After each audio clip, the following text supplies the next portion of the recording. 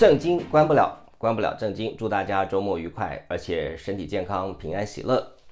呃，最近这两天，呃，宇宙真音学院的同学们透过各种管道来问我说，我是不是又得了这个 COVID，或者是又感冒了？因为我讲话鼻音很重。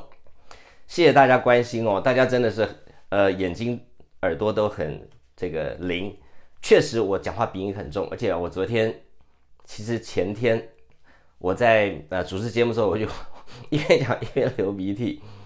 呃，我刚开始也觉得，哎，是不是我得了第三次啊？你知道吗？我在去年的六月份来到美国，到现在快要一年了，十一个月了。我得了两次 COVID，我们家全部轮了两次。从第一次身体酸痛有症状，到第二次几乎没有症状。那我想说，哎，自己这几天是不是得了第三次？我还想说，应该打电话去 CNN 接受采访。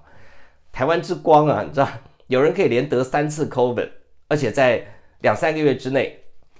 我想说，可能是哦，因为那个症状就是，呃，身体酸痛，然后一直流鼻涕、打喷嚏。后来我左验右验，全班全家都检验，验了半天，小孩还到学校去验，呃，PCR 也做了，Antigen 也做了，都是 negative。哦，原来。医生告诉我们说，你这个是 allergy，a kind of hay fever，就是一种花粉热的这个 allergy，就是过敏啊。那个感觉真的是跟感冒一模一样，就是眼睛痒、鼻子痒，眼睛呢鼻涕就是就是流不停啊。这有点像那个秋水共长天一色，眼泪与鼻涕齐飞啊。你知道那种感觉就是那种痛哭流涕，这种这种画面应该是蔡同学。在这个总统府开记者会，面对全国同胞的时候的画面，怎么会我做节目做到一半，觉得眼睛痒、鼻子痒，就用眼泪鼻涕齐飞？哦，原来这叫做黑 fever 啊！在美国，这个到处都是花呀、草啊、树木的这个情况下，是很常见的。那黑 fever 怎么办呢？就吃个美国到处的 over the counter，就是那种药房就有卖那种，有的十二小时吃一粒，有的二十四小时吃一粒，有 drowsy non drowsy，就是有那种吃了会想睡的，有吃了不想睡的。哦，那我当然是买那个吃了不想睡的。我如果动不动睡，我还得了，事情一大堆。呃，吃了以后就好了，就是好很多，但是还是有一些鼻音，所以跟大家报平安啊，绝对不是得了三次 COVID，呃，有点可惜。如果得了三次 COVID 呢，也不错，可以上 CNN，然后上 CNN 这个呃说明的时候，突然来一段论文门啊，也不错。好，接下来哦，我们要谈一件事情，最近网友一直不断的传给我一些影片，那。我是这样子哦，因为我人现在不在国内，所以我观察国内的政情。我通常不会对于一则新闻的发生立刻做评论，因为我怕呢会有这个挂一漏万，会有这个失之偏颇。好歹我是一个二十年的新闻研究所的博士教授所长，所以我比较爱惜羽毛。这对论文们也是一样，论文们我是听了曹仁清老师，听了林环强教授跟这个贺德芬老师书面的，还有记者会，我观察。判断做研究，大概两三个礼拜后，我才发表我自己的看法。那这一段呢，我看到这个整个画面应该是没有剪接的，然后我也看了总统府的回应，也看了国安局的回应，也看了外交部的回应。好，我觉得我该说几句话，我要来看看这段呢是要教 English 啊，I have no problem of saying English，所以我要跟大家来分享这一段。这是什么呢？这是美国的参议员。这个 Lindsey Graham 啊，叫做葛瑞姆啊，算是一个还算重量级的参议员了啊。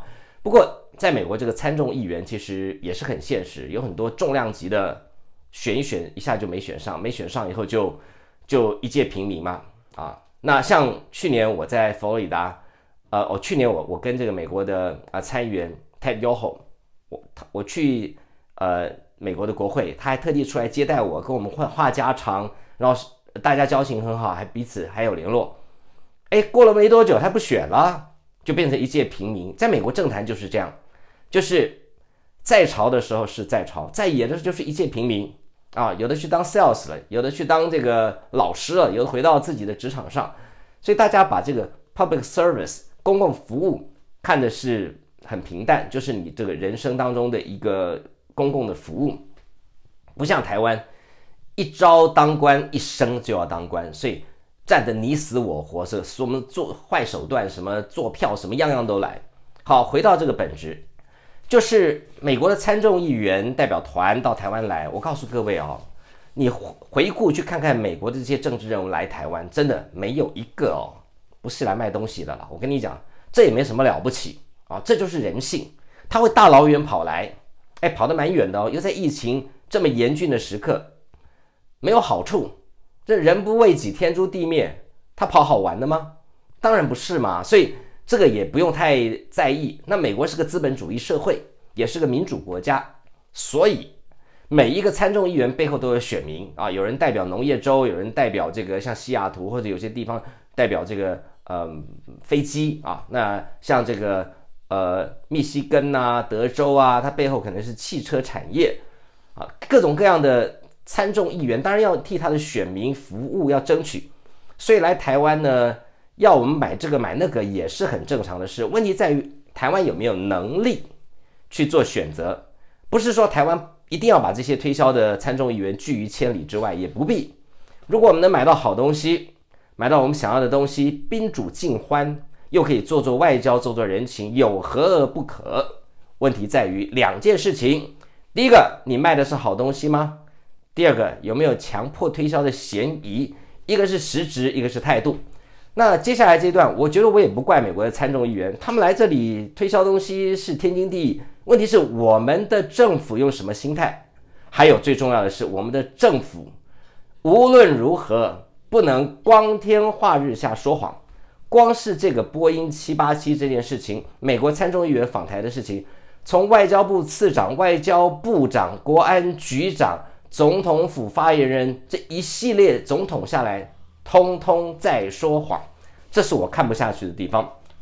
好，接下来啊，我们来看这段影片。这个是国民党前主席江启臣在立法院啊质询外交部长吴钊燮的这一段有关于呃大家听好了哈，当然这里面有一段英文哈，所以如果你有 you have problem of saying English 哈没有关系，因为呃这段影片剪接出来的时候它有上字幕，那我待会儿再来逐字逐句的分析给大家听。我们先来看看江启臣委员质询的这一段。是为什么超译？为什么没有翻译？这是重点。为什么没有翻译嘛？人民有眼睛会看，有耳朵会听，有心理会判断。为什么？为什么媒体讲说这个强销，你们会这么生气？有关于翻译的部分，当天我在场，嗯，我自己都听不清楚了，翻译做的比我远。我相信他也没有听得很清楚了。Hope to strengthen the ties even more economically。因此，我们希望能够进一步强化跟台湾的经济关系。We hope you buy the 787.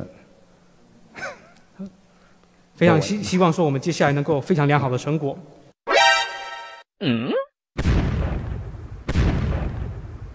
We hope you buy the 787. 非常希希望说，我们接下来能够非常良好的成果。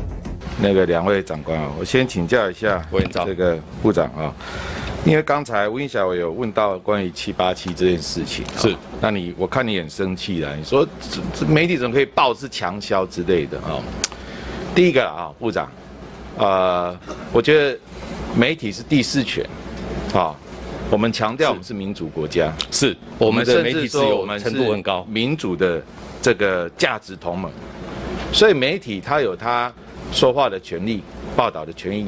当然，你官方也可以。如果如果说错的，或者是说伤害伤害到我们台湾，那么我们也有责任。你不要那么急，好不好？啊，你今天的态度，其实我坐在上面，我老实讲，我是不想制止的，让大家看的哈。但我要讲的是，重点不在强销，重点是为什么超译，为什么没有翻译，这是重点。他要不要强销他的事情？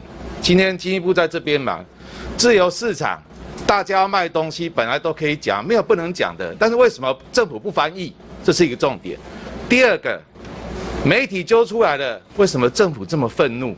居然讲说伤害台美情谊，其心可疑。我要讲哦，如果要讲这样子的话，那请问布林肯上周说要加速军售台湾，提高不对称战战力。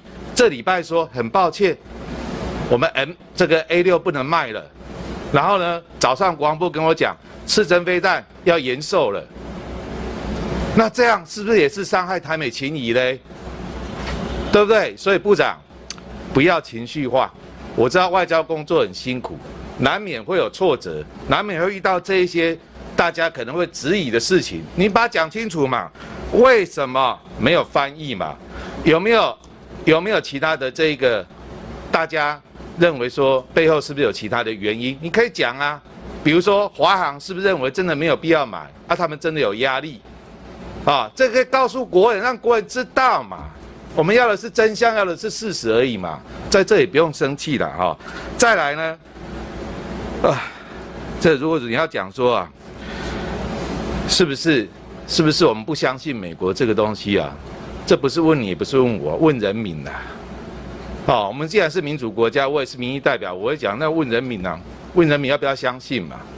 所以我会说，美国的很多的这些作为，包括我们对美国的一些作为双边的互动，其实人民有眼睛会看，有耳朵会听，有心理会判断，台美关系到底怎么样？你把去年的民调拿出来跟今年民调去比一下嘛，那就是人民已经告诉你嘛，人民的心态也会改变呐，大家也会判断呐，所以相不相信美国呢？很多东西回到双边关系，互惠互利互助相相挺。可是这中间都是要有实质的作用，而不是说口惠而实不至啦。啊！所以真相是什么？是我们今天想要问的嘛？啊！所以我在这边要请部长，就是说，在国内的答询还是有点耐心的啊。我们是要求真相，我们想要知道发生什么事情的。为什么？为什么媒体讲说这个强销你们会这么生气？原因是什么？告诉大家嘛。美国国会议员来这边来卖他州里面推销他州里面的商品，我我都认为很正常。我们去国外，我们也会推销台湾的商品啊。我也希望美美国买我选区选区的商品啊，这都很正常。大家会担心的是说，哎，是不是有承诺，然后华航华航不敢买？这个才是大家关心的重点的。啊，第二个，我再请教一下部长啊，啊，这个拜登即将要亚洲行了，啊，请问这个亚洲行啊，当然它有政治、经济、战略、军事太多的多重意义在里面啊，其中最重要的就是 QUAD，啊，在日本要举行这个 QUAD 会谈，但是呢，他到日本之前先飞到韩国。啊，这是不是代表说以后 Quad 会变成 Quad Plus One 或 Quad Plus？比如说，韩国新任总统上来之后，会不会成为未来 Quad 的重要对话伙伴？未来 Quad 这个这样子的四方会谈、安全会谈、首长级的，它会不会变成是亚太地区最重要的？我们讲类北约也好啦，或者类安全性的这一个对话，会不会？对，我可以回答，我可以回答哈，因为我有人刚刚问了好几个问题了哈。嗯。有关于翻译的部分，当天我在场，嗯，我自己都听不清楚了，翻译做的比我远。我相信他也没有听得很清楚了，所以那有关于这一方面，有关于这一方面，我们已经有跟总统府来讨论，看如何来强化总统府的这个收音，让那个翻译者能够完全听得清楚。翻译是你们派的还是他的？翻译是我们外交部派的。是你们外交部派的，这个是第一个。第二个就是说，有关于买飞机，我们有没有叫华航去跟他们讲说一定要买破音？这个电话我连打。都不敢打。我如果打电话，就是介入华航的这个企业行为，这个事情没有。所以所谓的来台湾强销他们的飞机、他们的产品这件事情，这个就是在影响到我们国人对于其他国家的参议员对我们支持的这个认知了哈。好，这一段呢是怎么回事啊？刚才我明明就听到，明明听到呢，这个参议员哈，这个呃 Graham 哈，他说。We hope you by the 787. We hope you by the 787. 我希望你们，你 you 可以是你，也可以是你们。这当着总统的面哦，这个 you 啊讲的实在很不客气哦。我坦白讲，用英文呐来看，这是很粗鲁的用法哈。呃，比较文雅的应该是说，呃，比方说我代表我的选民，或代表我的选民的州，那我跟各位呢推销或者建议。我们生产的这个波音七八七这一客这个款的客机呢，性能不错。那我也会代表呃这个波音七八七，想办法替各位争取到好的价钱，请各位参考参考。如果他是用这样子的方法来推销，我觉得宾主尽欢，我觉得这没什么问题，一点问题都没有。问题是，We hope you by the seven eighty seven. We hope you by the eighty seven eighty seven. 这个让我想到那个在那个酒店，你知道，呃，这是朋友告诉我的啊，在酒店里面有一种专门推销什么 oshimori 啊，还是什么烟呐、槟榔的那种那种帮派，结果，呃。小吃店好像也是，就是你非得买单不可。你知道他的用意，那这就不对了，这个态度就不对。但是今天我要讲的是，好，美国参众议员他不礼貌啊，那他家的事。我们的政府碰到这样的情况之下，是怎么样来超译这一段的？那刚刚可以听到刚刚的那一段，各位可以听到。我们的吴钊燮说什么呢？吴钊燮说：“因为喇叭的关系，我坐的比较远啊，我坐的比较远，所以呃，我都没听到了。我们的翻译坐的比我更远，所以呢，他应该是没有听清楚。我的天哪！今天总统府接待外宾，翻译的耳朵听不清楚。那么回去第一个，如果他漏翻了这一句，他有没有修改啊？这第一件事。第二件事情。”为什么不会让翻译坐在离喇叭很近的地方，而要坐在很远的地方？第三个，这件事情推给了喇叭跟坐得很远，这不是国际间的笑话吗？当然啦，吴钊燮所说的这一切都是光天化日下撒谎啊！这毫无疑问，就是硬是把这个 “We hope you by the seven eighty seven” 这句话给他给跳掉了。我常觉得很奇怪。这句话翻出来有什么关系呢？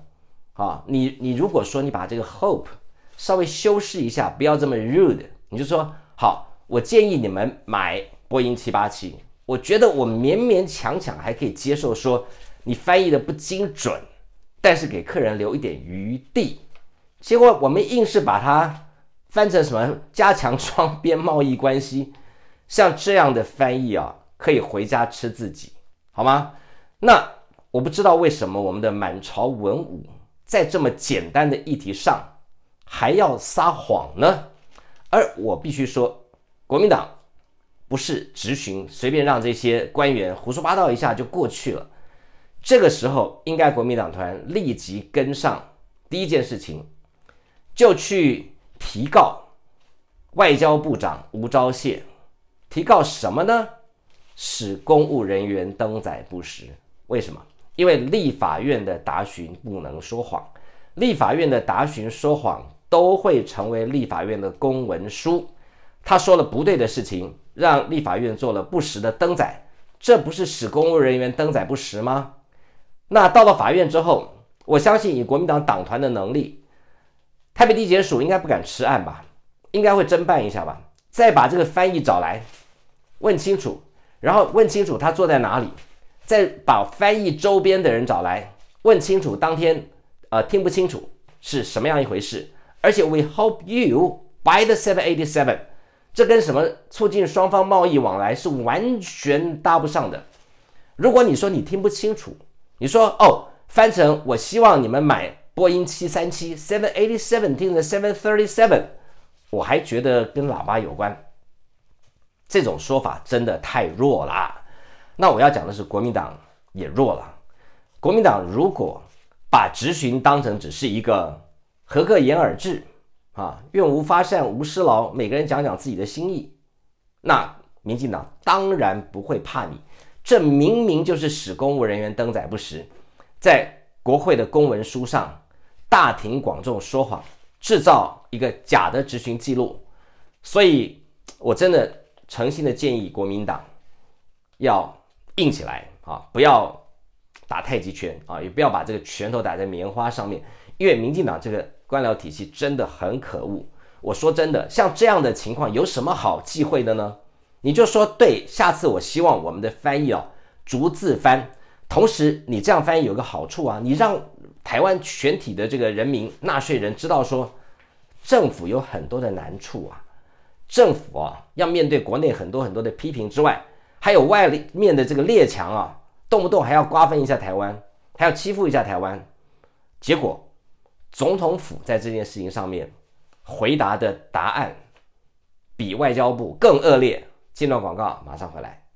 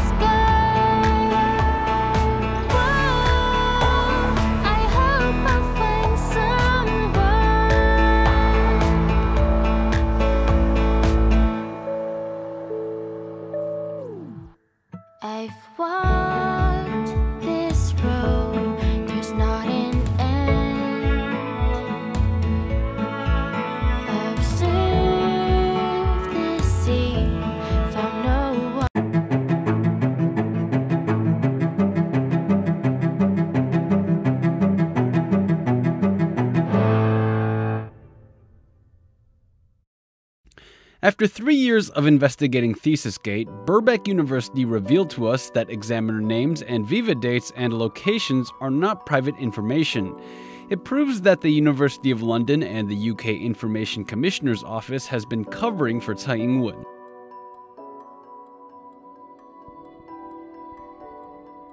Tsai Ing-wen's thesis never existed. Education Ministry files have attested to such. Professor Defun has created an extensive documentary detailing just how deep ThesisGate goes. Taiwan's presidential office continues to ignore ThesisGate's glaring issues. It doesn't even dare to advance its court cases against the three scholars. It's clear the presidential office doesn't plan on doing anything about ThesisGate. However, the more pressing issue is why doesn't the University of London dare expose Tsai Ing wen? From the files published on whatdotheyknow.com, we can see that someone at the school helped facilitate an entry into the ProQuest database on Tsai Ing-wen's behalf.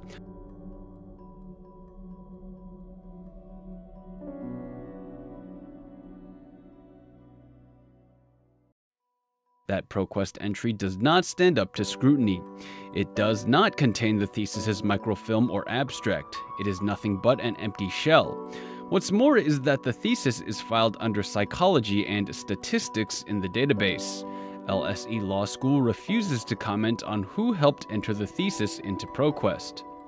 In June 2011, after Tsai Ing-wen's group attempted to smuggle a thesis into the library, someone launched an effort to find Tsai's thesis at the schools. That search effort ended with someone saying that school archives held Tsai's files in email exchanges. These emails provided the illusion that three copies of Tsai's thesis once existed.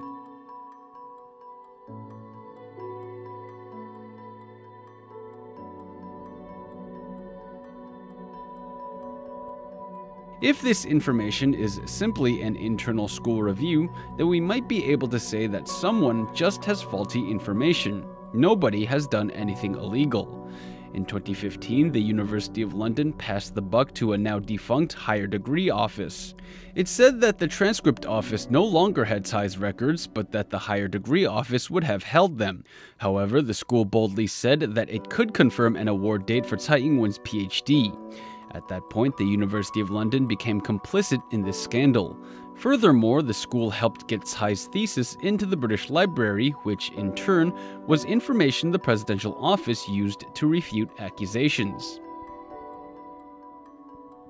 这本论文在三十五六年前就已经存在，有两个证据。第一个，大家在过往的时间里面就已经知道，从大英图书馆的论文检索系统里面就已经可以查得到蔡英文总统这一本论文的相关记录。 这是第一个证明。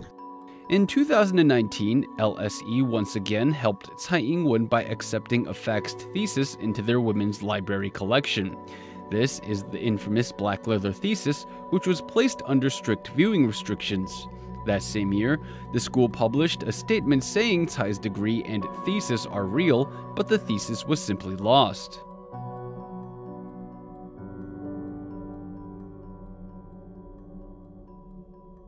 这个论文啊，当年呃是三十五年前的论文啊，所以呃当时的做法有他的呃的做法嘛哈。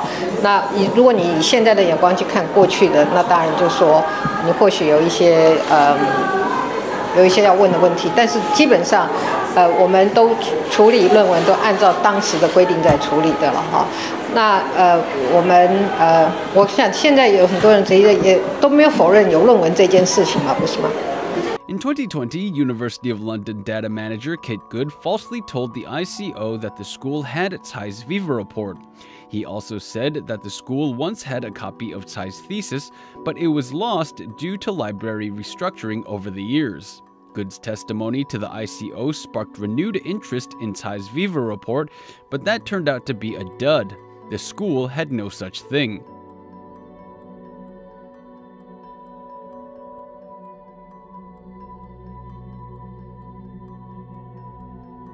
There's no way ThesisGate could have gotten this far without the school's help. The University of London will be remembered for its part in this scandal.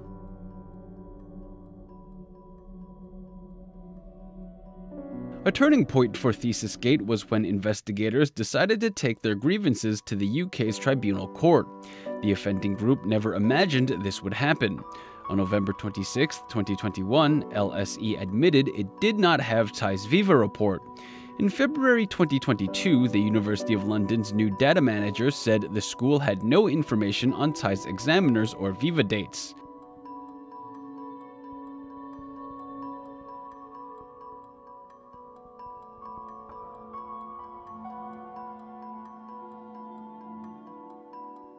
The original data manager who gave false information, Kit Good, resigned from his post in September 2021.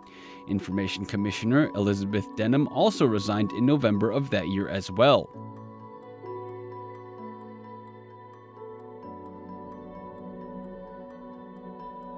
This simple matter of academic dishonesty has now become an international political scandal. Tsai Ing-wen will not only destroy her own legacy, but she will also take Taiwan's justice system and the University of London's reputation with her.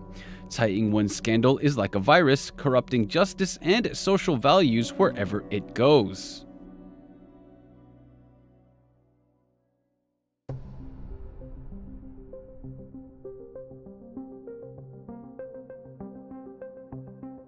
Besides the University of London, the UK Information Commissioner's Office is also protecting Tsai. The ICO is not acting in the public's interest as it should be. Instead, it has become another cog in the political machine, helping to conceal the truth. Let's say that the ICO's June 11, 2020 ruling was solely based on the University of London's testimony and that the ICO isn't covering for Tsai. We'd be conspiracy theorists at this point, but how do we know the ICO is involved? Last episode, we talked about how we requested an internal review from the ICO. We asked three questions in relation to the June 11, 2020 ruling.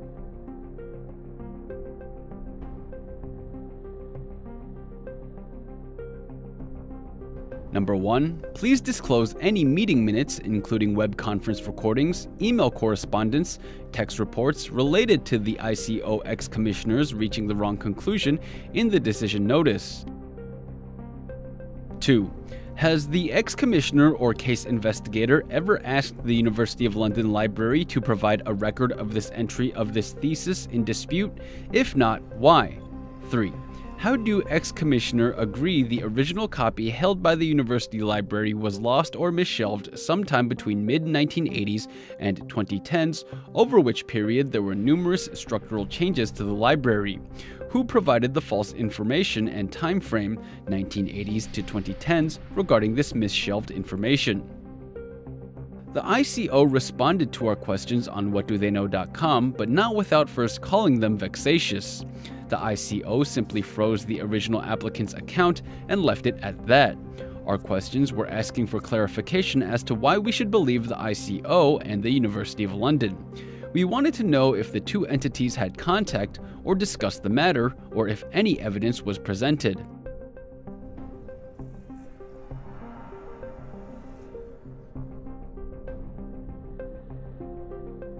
But the ICO decided to give a very politically motivated answer.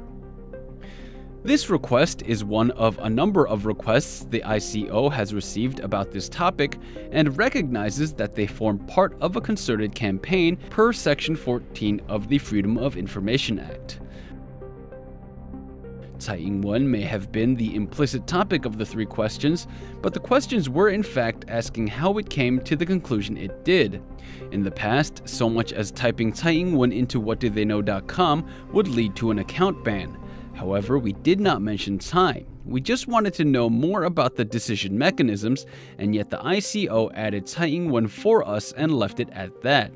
The ICO is also very upfront, acknowledging the reason for not answering our question is because the key question to be asked is whether the request is likely to cause a disproportionate or unjustified level of disruption, irritation, or distress.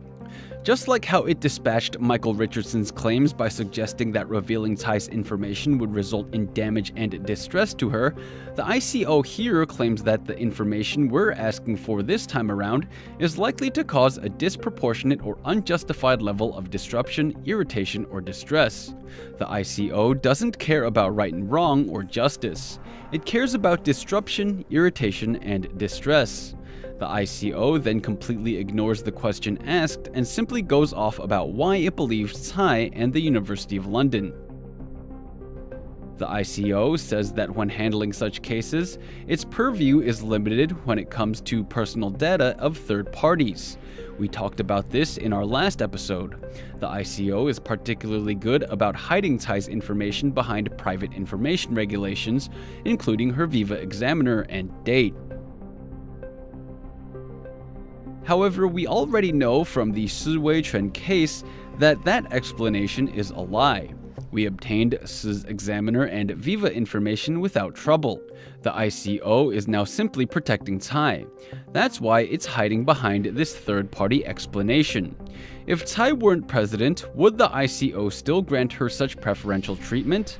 In reality, Viva dates and examiners are public information. This is particularly true for government funded universities. Such information should be accessible to anyone under the Freedom of Information Act.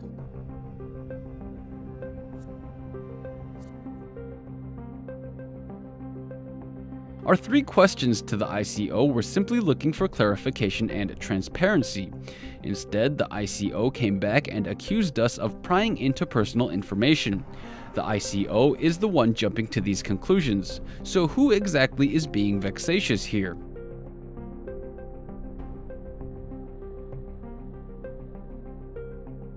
Next, the ICO said that the University of London already provided enough information in the June 11, 2020 ruling. The ICO asserted that the university provided credible information and that the matter was dismissed in the first tier tribunal. The ICO then included a final warning. It is said our intent was to try to add weight to theories around the falsification of President Tsai's PhD which have already been considered at length by the Commissioner and the Tribunal and found to be entirely lacking in substance, as well as to express dissatisfaction with the Commissioner's decision in these matters and cause deliberate disruption to the ICO's services. Neither is it correct for the ICO's information access services to be seen as a channel through which to try to obtain information about other public authorities, having thoroughly exhausted both the correct procedures to obtain information information from the relevant authorities and the appropriate means for pursuing dissatisfaction with the outcomes. The ICO further closed out by saying, It is not within the public interest for the ICO to further expend its finite resources in responding to requests of this nature when it is clear that doing so will not put to rest the postulated theories, given the unwillingness of their proponents to accept the clearly explained and well evidenced position of the ICO, the University of London, the London School of Economics, and the First Tier Tribunal on the matter thus far. This ICO ruling did nothing to address the ICO's mistakes. The ICO just wants to keep toeing the line, even though Kitgood's testimony has already been proven false. This is how the ICO operates. It keeps hammering the same tired points home. It uses rulings made on bad information to respond to our inquiries. Even though we've proven that those rulings were based on bad information, the ICO doesn't care. According to the ICO, as long as we challenge them, we are disrupting their services.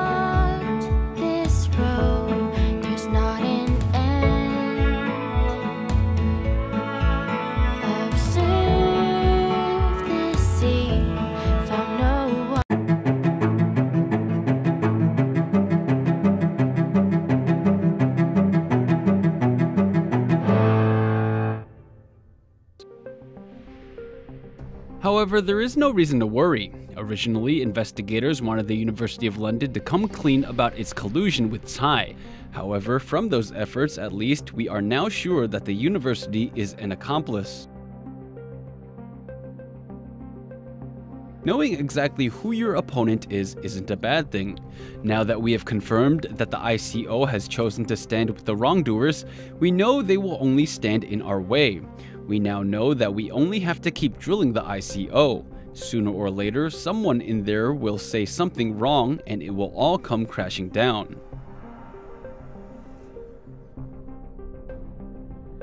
Dr. Huan Si Lin published a joint statement in February alleging the London University's involvement in playing cover-up for Tsai Ing-wen.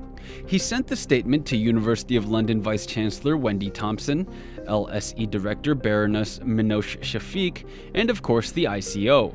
Naturally, we had a lawyer at the ready to follow up with the institutions.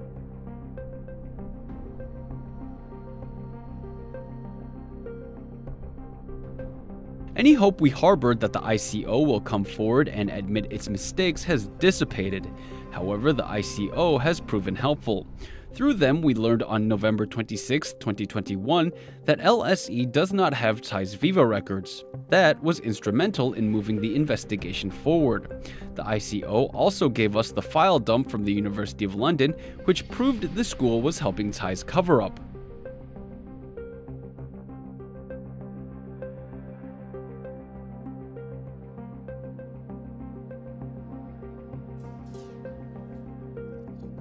ICO can't respond to questions about Tsai Ing-wen head-on. When the ICO couldn't offer any more insight in response to our inquiries, we turned elsewhere.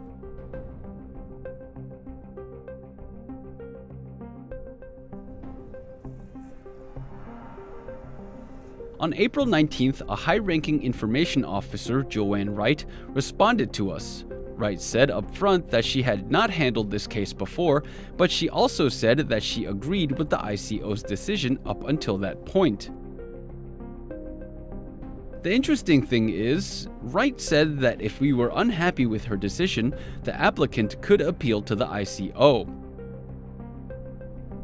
That's interesting. If we're unhappy with the ICO's decision, then we have to appeal to the ICO. Won't this have us running in circles? If we're unhappy with an ICO ruling, then the next step should be to go to the tribunal. Yet the ICO doesn't tell us that and wants us to appeal to itself?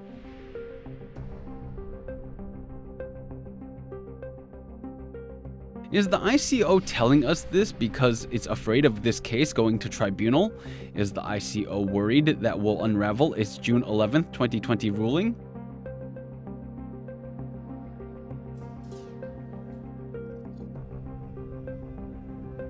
You'll remember that Michael Richardson took the ICO to tribunal once. The ICO dragged its feet, making the issue not about the matter at hand. Instead, the ICO wanted to talk about nationality while stalling to give its plea report. The ICO went so far as to tell the tribunal that it was the only authority in the UK that could decide what information could be disclosed. It's clear the ICO is afraid of the tribunal. The only reason why LSE admitted it didn't have Ing-wen's Viva report is because we were once again about to take the ICO to tribunal.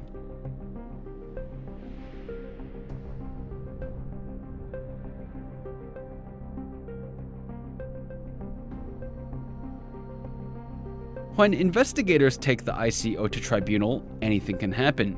In one case, the judge agreed that it was unlikely that Tsai's thesis disappeared. However, in the end, the tribunal ruled with the ICO, saying the University of London didn't have to reveal Tsai's examiners. In another case, the tribunal outright accepted the ICO's ruling and sided with it. Investigators are 0 2 when it comes to tribunal cases.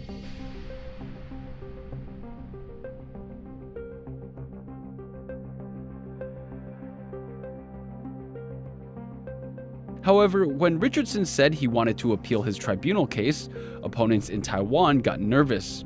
During that time, a lot of misinformation started circulating on Taiwan's internet.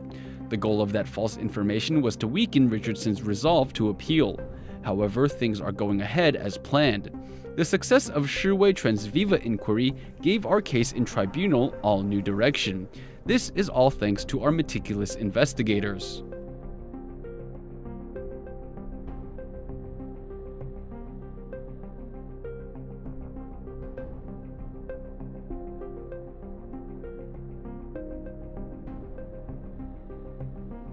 On April 25, 2022, something shocking came to our attention.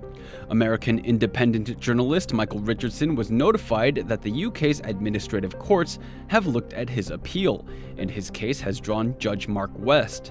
The courts told Richardson that it scheduled an online hour long pretrial hearing for the case. Richardson's case focuses on revealing Tsai's examiners.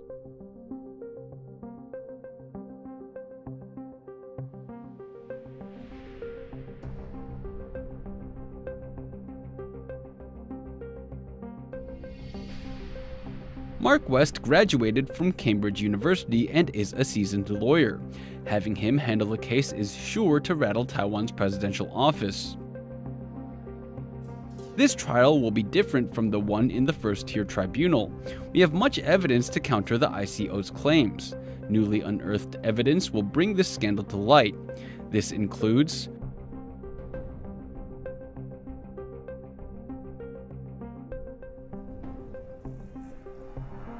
The LSE's councils claimed that it denied holding Ing-wen's Viva reports on November 26, 2021.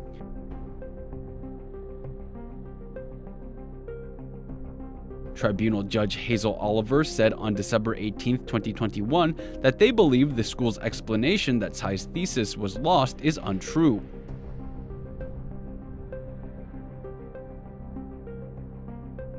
Susie Meriwether denied that the University of London had information on Tsai Ing-wen on January 11, 2022, which is contrary to what Kit Good claimed.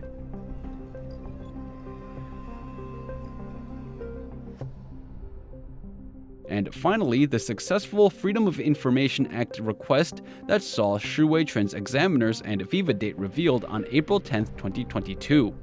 We will hold our heads high as we go into this pretrial hearing. The offenders are the ones that should have reason to worry. Remember, in their panic, the wrongdoers had LSE's Kevin Haynes throw out Michael Elliott and Leonard H. Lee's names as Tsai's examiners. Those two couldn't have overseen Tsai's Viva. Then Tsai's lawyer Lien Yuanlong changed Tsai's Viva date to October 17, 1983, and added a third examiner name, Richard Dale.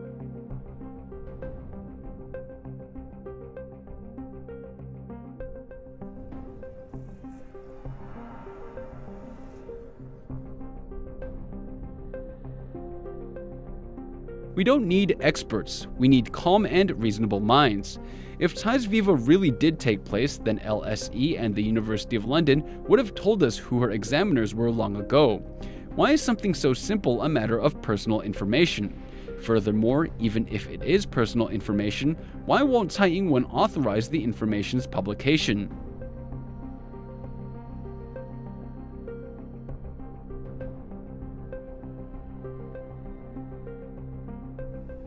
It seems that ThesisGate has taken a backseat to the war in Ukraine and the pandemic in 2022. However, that doesn't mean we're not making moves. There are two more tribunal cases that are slowly making progress. This upcoming pretrial hearing is just one breakthrough of many to come.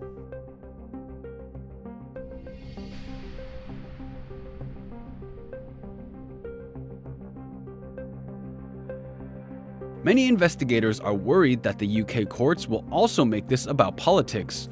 Mark West might hand us an unfavorable outcome. However, so long as we don't give up, the other side can never win. The tribunal is not our investigators' only course of action.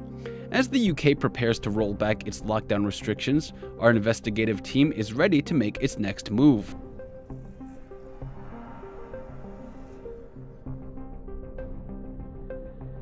Coincidentally, while the UK tribunal brews, courts in Taiwan have been putting on a witch hunt for Dr. Dennis Peng.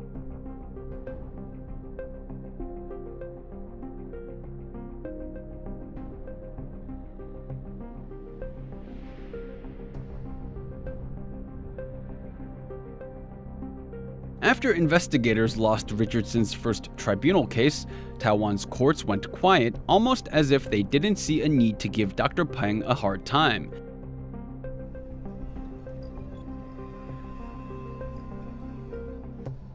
Now, as court proceedings in the UK start up again, Dr. Peng's case against Judge Zhang Yonghui was suddenly issued a court date of June 11, 2022.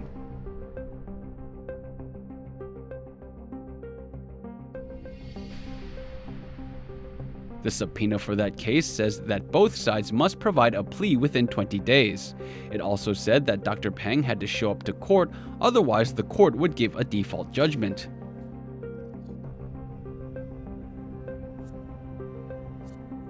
Defendant Zhang Yonghui seems ready, if not eager, to meet in court for a round of debate. Aside from the University of London's latest statements, if Judge Zhang familiarized herself with the email chains published on whatdotheyknow.com, she'd know Tsai's thesis doesn't exist. Anything about Tsai's thesis and where it is now comes from pure speculation and hearsay. The only people who can attest to a true thesis would be Tsai's examiners.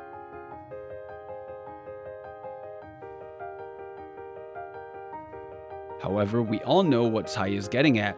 Her propaganda machine is losing steam. The truth is in London, while the revolution will be in Taiwan. This is the darkness before the dawn. Let us all look forward to the future.